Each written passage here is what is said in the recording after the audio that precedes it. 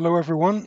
Uh, today we want to take a look at a fairly common error that's made in electrostatic problems. Seen it a few times, so let's take a look and see if we can prevent this happening in future.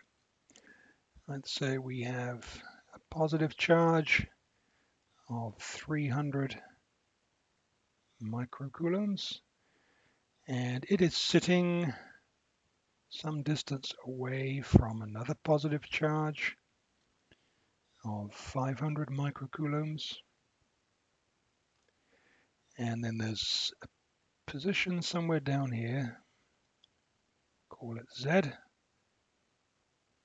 some distance away. And the question we're being asked is what is the field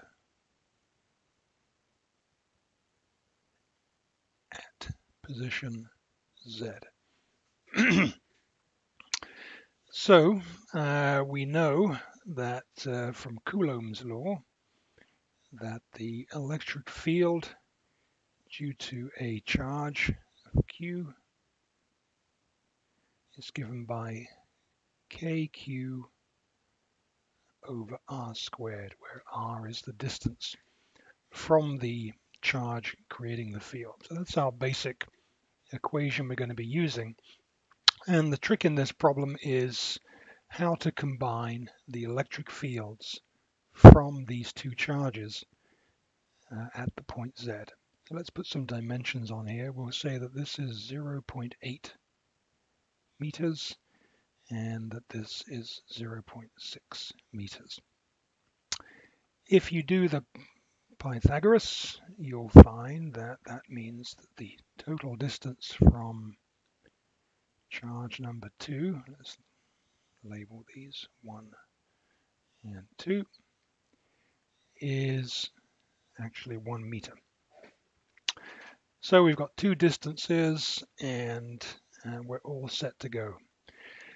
Now, uh, people start thinking about, okay, this second charge sitting over here, charge 2, is acting at an angle on position Z. So I'm going to have to deal with some kind of components in the X and Y direction. So let's just put some axes on here. We'll call the horizontal distance X and the vertical axis Y.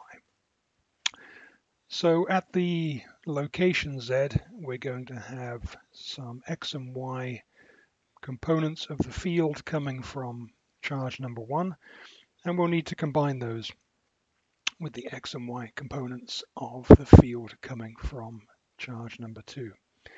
And here's where people get a bit confused. They start doing components of distance instead of components of field. And I'll just show you what I mean over here, and then perhaps we can erase it. So let's just quickly redraw that. And remember, this is going to be incorrect. So they say, here's my triangle. This is 1, this is 0.8, and this is 0.6. And when looking at charge number two, they start thinking about the distance in the y direction and the distance in the x direction. So this would be y equals 0.6 and x equals 0.8. And they start thinking that the force, or the field I should say, can be broken down based on these two distances. So they write things like um, EY or EX is equal to KQ over 0.8 squared and EY equals KQ over 0.6 squared. So they're imagining that this total distance of 1 between point Z and charge number 2 can be broken down into its x and y distances and that those distances can then be fed directly into Coulomb's law in order to obtain the x and y components. And that simply is uh, not correct. And let me help you understand why. There's a couple of ways to think about it. Um, imagine for a second that I change my axes. So let's say this is point number one, and this is point number two, and here is my Z point. So let's suppose now that instead of having uh, X horizontally and X vertically, that I changed my axes to something a little stranger. Let's suppose I put my x-axis like this and my y-axis perpendicular like this. And so you can see now that what I've done by choosing a different x and y axis is that I've made this x distance, or sorry, this y distance, forgive me, I've made this y distance very, very, very small. And in fact, I can make it as small as I want. And if I make it as small as I want, then my electric field in, in the y direction using this bad maths would just go out of control. kq over, let's say I make it 0 0.000001 and then I square that, clearly I can make my electric field in the y direction anything I want just by changing the angle of my axes for the calculation. And that can't that can't be right. I hope you understand that. And we can't just have uh, fields, you know, field components arbitrarily large based on the axes we choose. So you cannot start breaking up the distance into x and y distances and plugging them into the Coulomb equation. You must find the total field using the direct distance between the charges. And then once you have the total field, then you can start uh, worrying about components. Another way to think about this particular error, and let me do it in, in red again. So let's quickly sketch one more time. One charge,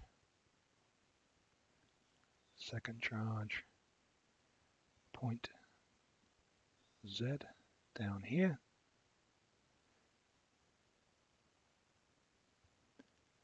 And then the dotted lines to represent the bad components of distance. So let's call this distance here r. We have our x and y axes. So this distance is x and this distance is y.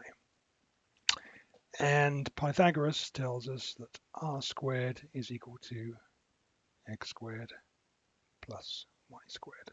Nothing wrong with that at all. You can break up the distance into its components in that fashion, no problem at all. Problem is when you start feeding them into Coulomb's equation. So let's write down what the, let's assume for now that the charges here are just one Coulomb and one Coulomb to make the, the math simple.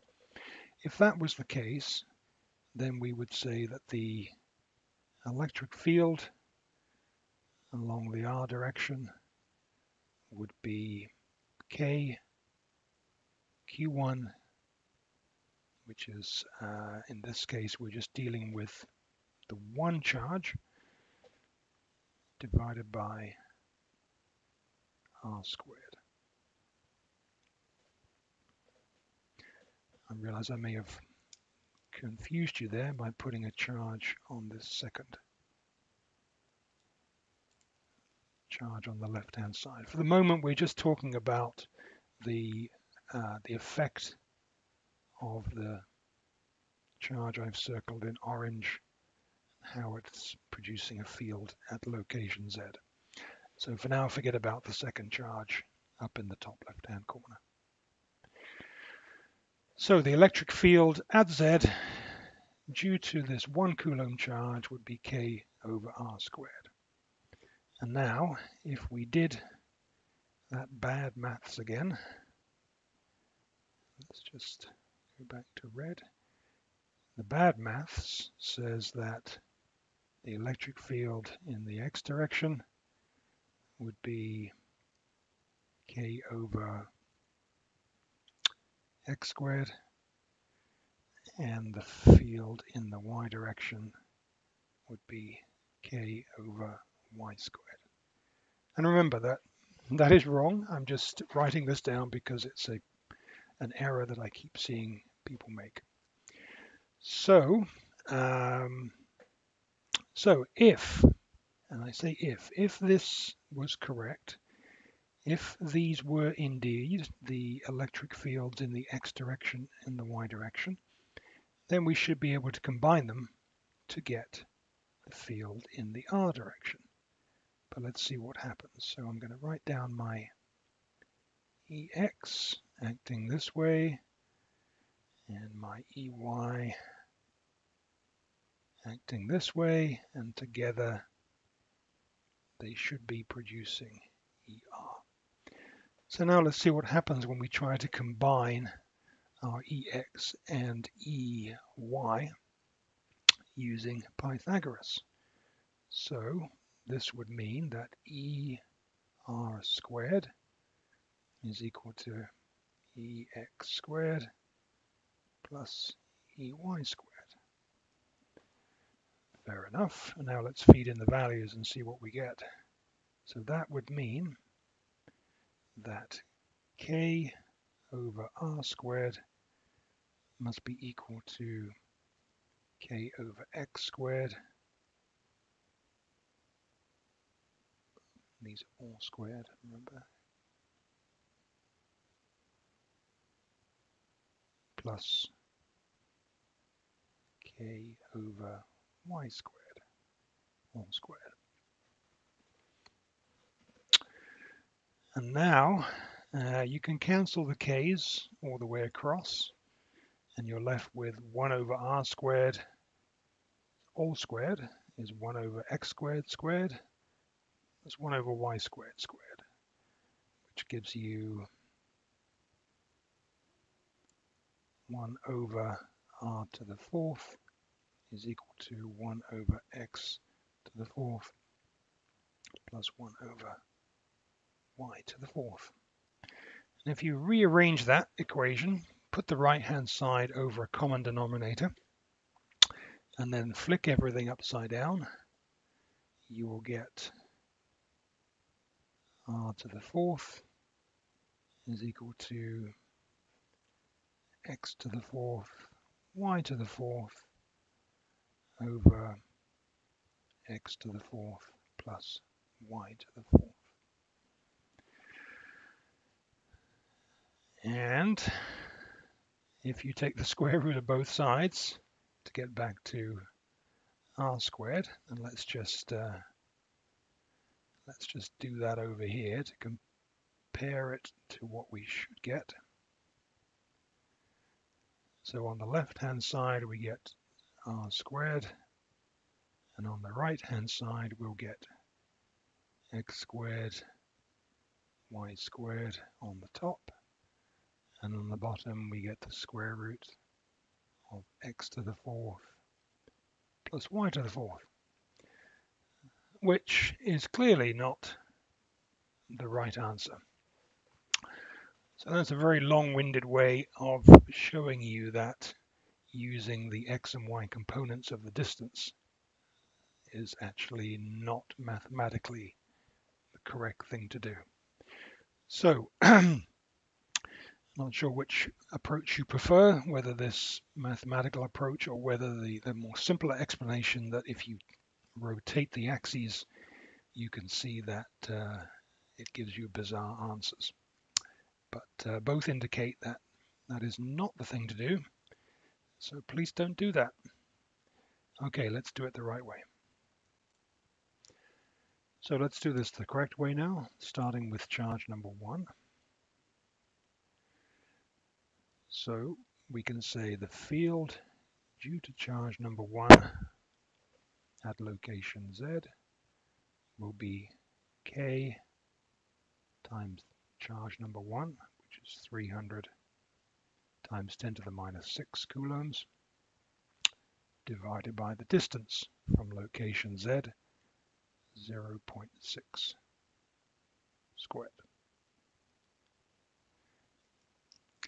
And now using K is 9 times 10 to the 9, 300 times 10 to the minus 6 divided by 0 0.36 equals, pause for a second, do it on the calculator. That is 7.5 times 10 to the 6 and this is a field so that's a force per charge newtons per coulomb. So that is E1 field due to charge number one at the point Z. Now we move on to E2 same equation, different charge this time, 500 times 10 to the minus 6 coulombs. And the distance we're using is the full distance between charge number 2 and the point we're concerned about, which is F. That gives us 9 times 10 to the 9 times 500 times 10 to the minus 6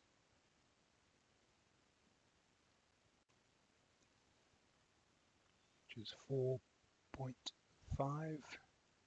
times 10 to the 6 newtons per coulomb. So now we have the, the two uh, components of the field operating on point Z. So let's just quickly do that. So here's, here's my point Z.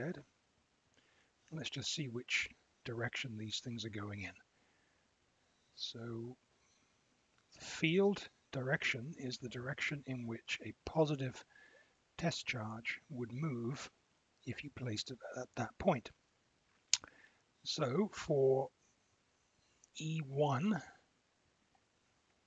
the charge 1 is positive, 300 microcoulombs, and that means a positive charge placed at Z would be pushed downwards. So E1 is acting downwards. Similarly, if we look at E2, that's being created by the positive 500 microcoulombs. And so a positive charge sitting at Z would be pushed away from charge number 2 in this direction, E2. Okay, so those are the two fields combining together and acting at point Z. Let's choose some coordinates again. X is horizontal, Y is vertical. And now is the point where we have to try to combine these two electric fields into one single electric field. And that's where we need to choose the components. Now, electric field number one E1 in the x direction is 0. electric field vector 1 is pointing straight down, so straight in the y direction or the negative y direction. So its x component is 0. E1y, the y component of E1, well that's the whole of E1 because E1 is pointing in the y direction. So that's 7.5 times 10 to the 6. Now we have to break up E2 into its x and y components. How are we going to do that? Well, we need a bit of trigonometry. So let's quickly draw the triangle figure out the angles that we're dealing with. This is just a miniature version of the triangle above. 0 0.8, 0 0.6, and our E2 is acting in that direction. So what angles can we get from this? Well, we should be able to get this angle theta in here. We can write the tangent of theta is the opposite divided by the adjacent You can use sine or cosine if you prefer. So let's just plug that into the calculator and see what we get. So that's 0.75, which means that theta is the inverse tangent, tan minus 1, of 0.75. And if we do that, we get. That gives us an angle of 36.87 degrees. so this angle theta up here is 36.87. Uh, we're looking for the angle between E1 and E2. So this, let me just do that in uh, different color. So we're looking for this light blue angle in here. So if we go up to the triangle, that is actually the angle on the other side of the triangle. So we just do 90 minus, and that will give us this angle, let's call it alpha. So alpha is equal to, uh, what is it, 53.13, I think. 53.13 degrees. That allows us now to work out the x and the y components of E2. So let's do that. Go back to a white pen. So we'll make a little triangle here. And we can say that the electric field due to particle 2 in the x direction, that will be equal to this part of the triangle over here. That's the opposite side of the, of the triangle. And so that is equal to the hypotenuse, E2, multiplied by the sine of 53.13. And E2 in the y direction will just be the cosine part. Cosine 53.13. Let's just clarify that. So this E2x is the length of this side, the x component of E2, and E2y is the side of the triangle. So there we have the two components, and now we can evaluate both of those, and we're nearly done. we know E2 is 4.5 times 10 to the 6, so this is equal to 4.5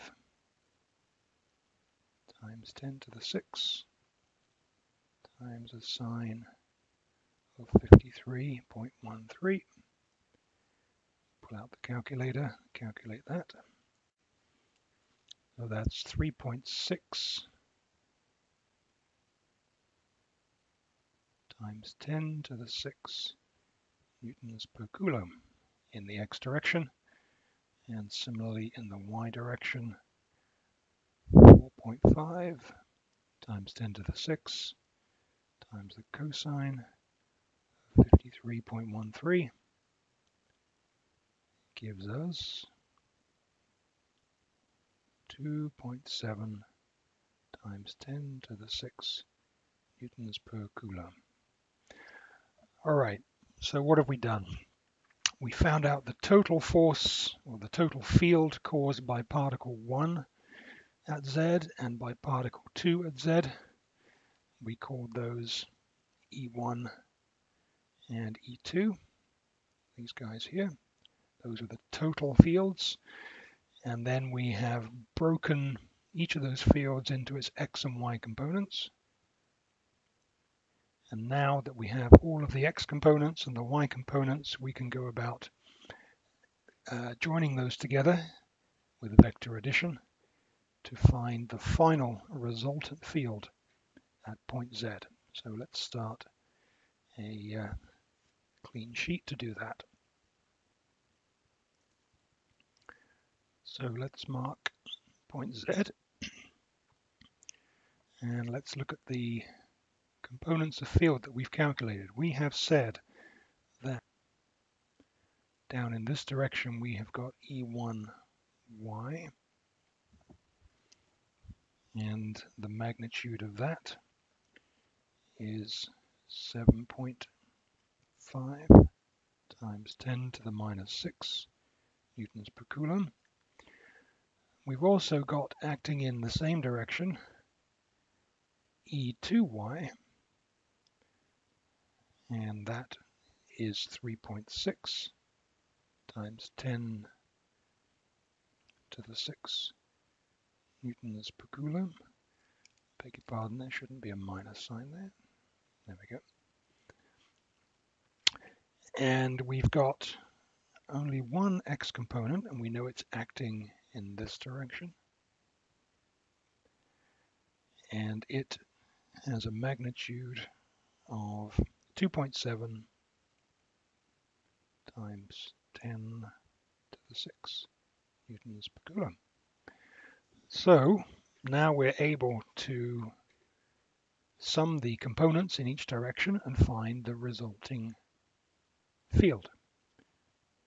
So I've got 2.7 times 10 to the 6 is my total acting in the negative x direction and my total acting in the y direction is the sum of E1y and E2y. So that gives me 11.1 times 10 to the 6 newtons per coulomb. So these are field vectors. We know how to do vector addition. We do tip to tail. So I'm going to take the 2.7 and on the end of it, I'm going to add the 11.1 times 10 to the 6. And so this diagonal here is the vector sum of the 2.7 pointing west and the 11.1 pointing south. So this is my net electric field. Now we can use Pythagoras. We can do a squared plus b squared equals c squared. And so E net squared. That's the hypotenuse of the triangle. is equal to 2.7 times 10 to the 6 squared plus 11.1 times 10 to the 6 squared. And that, if you solve that, tells us that E net is equal to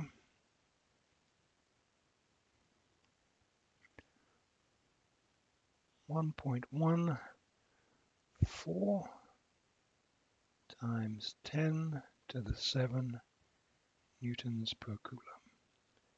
So that is the magnitude of the final electric field at the point Z caused by the two charges, number one and number two.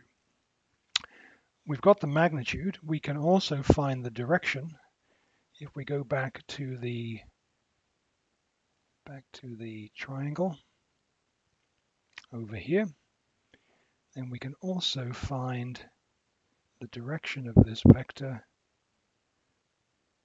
relative to the north direction.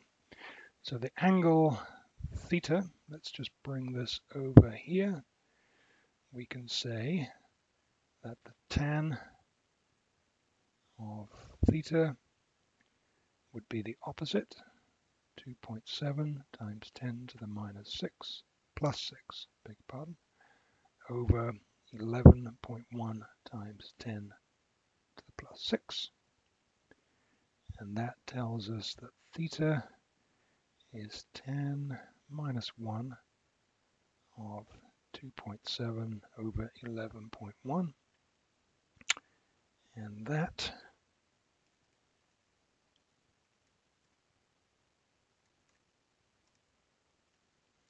gives us an angle of 13.67 degrees. And there you have it. That is the way to sum the electric fields or the electric forces due to an array of point charges. Hope that's useful. Thanks very much.